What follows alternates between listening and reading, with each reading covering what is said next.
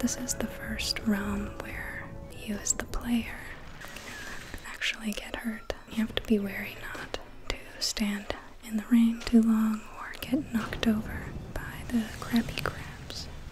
And I sort of think of that as a metaphor for how tough the teenage experience can be.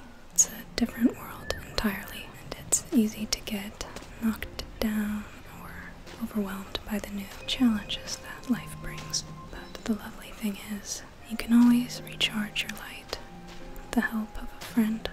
There's good people out there, and if you're struggling to meet the right people right now, you can learn how to take a step back and find your own way to recharge. So if you're a teen, just hang in there. You'll forge your own path that's as authentic and unique as you.